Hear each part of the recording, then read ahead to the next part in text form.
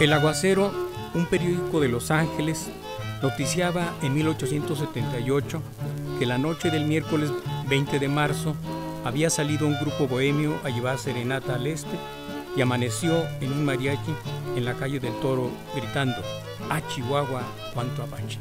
A la distancia, la comitiva de la serenata mencionada venía de parentelas del centro norte y occidente novohispanos, fundadoras del pueblo de Nuestra Señora Reina de los Ángeles en 1781. Sus ancestros habían arribado por tierra o por mar en la navegación del Pacífico. Parajes de California estuvieron en los planes de marinería desde el occidente de México ya en la vida nacional. En el México independiente, las Californias eran destino forzado para el envío de vagamundos desde el actual estado de Guerrero y Michoacán.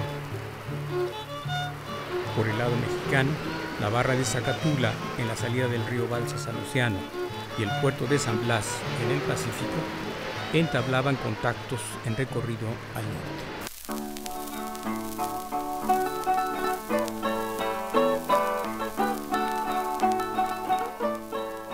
Yendo por la playa, por toda la arena, Gregorio Torres Quintero versó una feria colimense en enero de 1891. Entre la rima brotan las imágenes. Las gentes parecen olas que van en tropas corriendo.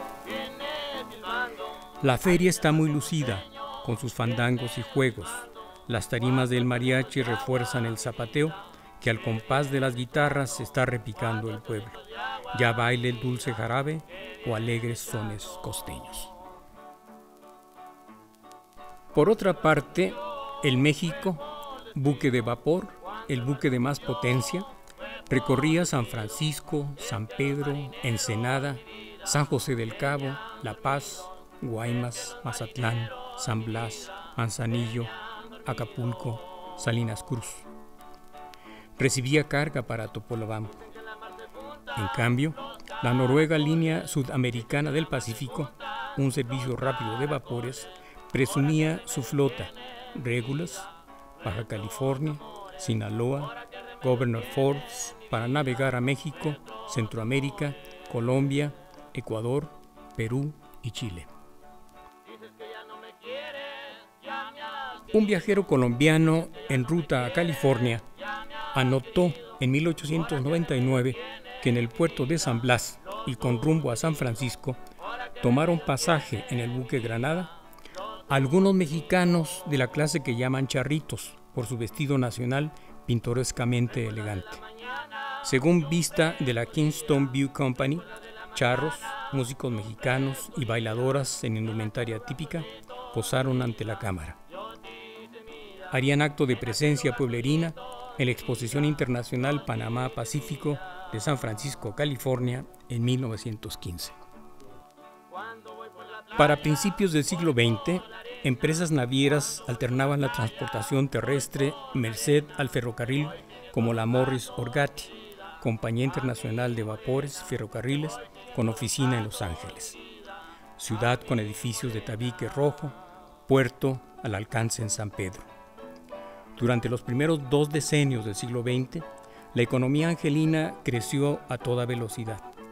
La ciudad demandó mano de obra para construir edificios, cultivar la tierra, atender la industria, el comercio, el ganado, tender el traque de ferrocarriles y tranvías. En ese paralelo, refugió a multitud de perseguidos políticos y revolucionados mexicanos.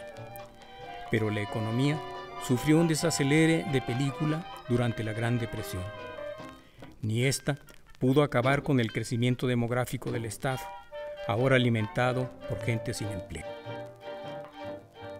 En 1929 y años postreros llegó la crisis en Remolino y levantó a millares de migrantes. Agentes de la migra sorprendieron a mexicanos en la placita al estilo americano y el periódico La Opinión dio cabal cobertura de las deportaciones en su primera plana. Pasada la tempestad, tiendas, vinaterías y restaurantes asentaron piso en las inmediaciones de la placita. Además, por tierra y mar retornarían al nido los sinfónicos peregrinos a recrear el 5 de mayo y las fiestas septembrinas. Se escucharía al Mariachi Nacional El Costeño tararear canciones rancheras y ejecutar sones. Como avanzada de México, en los viejos lares irrumpiría el mariachi coculense El Costeño en 1939. En la sinfonía de violines y trompeta bien se escuchó. A Los Ángeles llegó el mariachi tapatío y con él recuerdo yo de un amor que fue muy mío.